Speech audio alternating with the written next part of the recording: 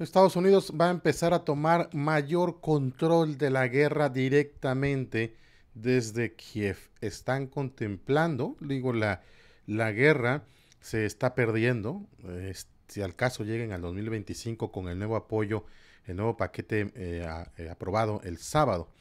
Lo cierto es que Estados Unidos piensa mandar y más instructores y más oficiales a dirigir, entrenar al ejército ucraniano en esta resistencia en los momentos en los que se ha anunciado ya, incluso por parte del propio Lavrov, que Ucrania va por Kharkov, un, lugar importante para mover las líneas.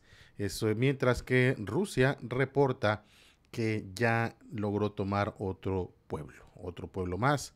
Aquí veremos todos los detalles de lo que está diciendo Rusia. Un, saludo a todos, gracias por estar en el canal, gracias por estar viendo los videos. Esperamos que tengan un excelente domingo y que hayan pasado un buen fin de semana.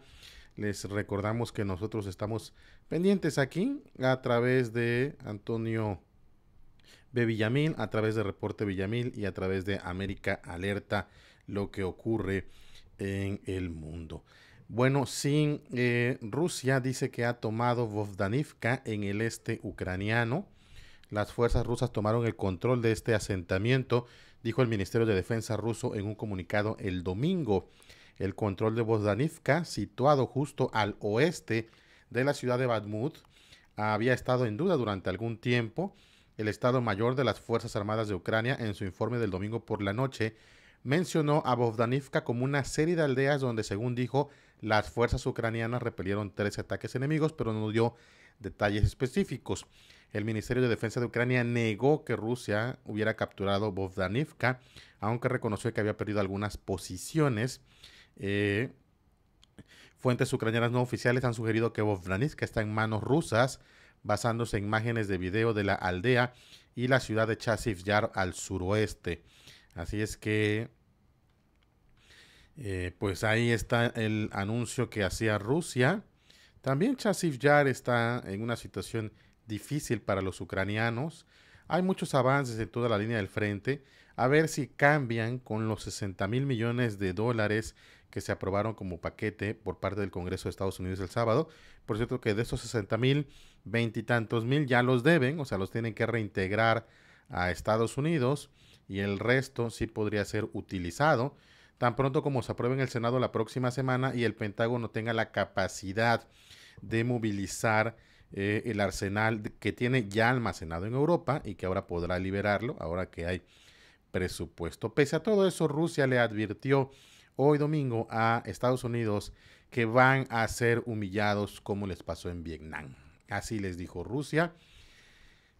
Eh, decía que el apoyo de los legisladores con estos 60 mil millones de dólares en ayuda para Ucrania demostraba que Washington se estaba adentrando mucho más en una guerra híbrida contra Moscú que terminaría en una humillación comparable a la de Vietnam o Afganistán. La portavoz del Ministerio de Exteriores de Rusia, María Zaharova, dijo que estaba claro que Estados Unidos quería que luchara hasta el último ucraniano, incluso en ataques contra territorio soberano ruso y contra civiles. La inmersión cada vez más profunda de Washington en la guerra híbrida contra Rusia se convertirá en un fiasco ruidoso y humillante para Estados Unidos como Vietnam y Afganistán, dijo Zaharova.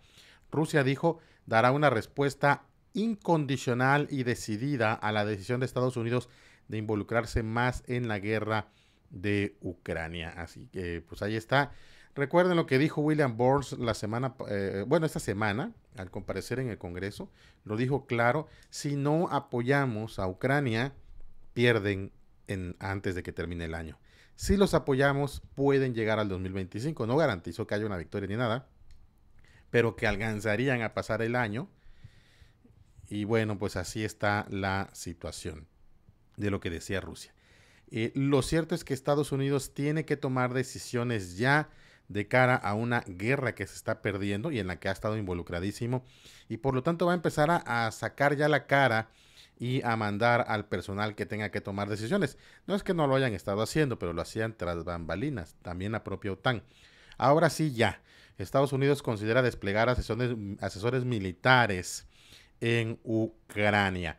Estados Unidos está considerando enviar asesores militares adicionales a su embajada en Kiev, mientras Rusia continúa sus operaciones ofensivas en Ucrania, informó el portal político.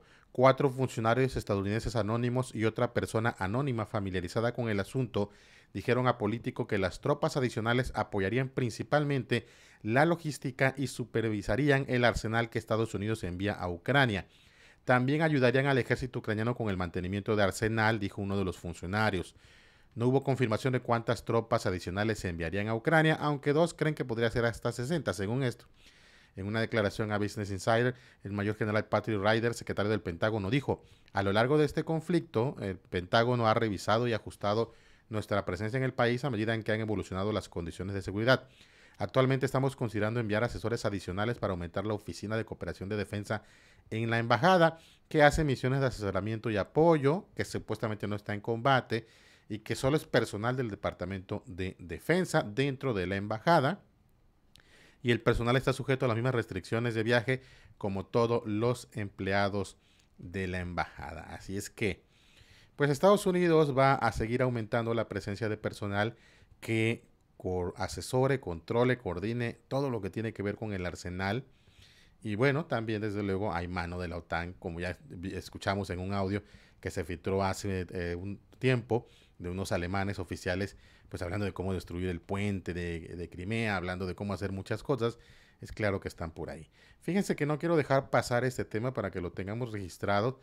Resulta que ya ven que han sancionado a Rusia muchísimo en los últimos meses, los últimos dos años, y resulta, eh, dice el Fondo Monetario Internacional, que la economía de Rusia va a crecer más que ninguna otra.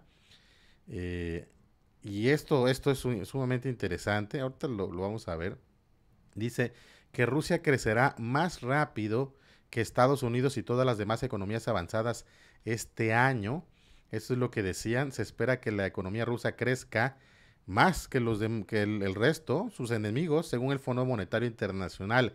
Se pronostica que la economía rusa en tiempos de guerra crecerá 3,2% en 2024, superando a Estados Unidos con 2,7%, Alemania con 0,2%, Reino Unido con 0,5% y Japón con 0,9% en un informe que se publicó el martes eh, de esta semana.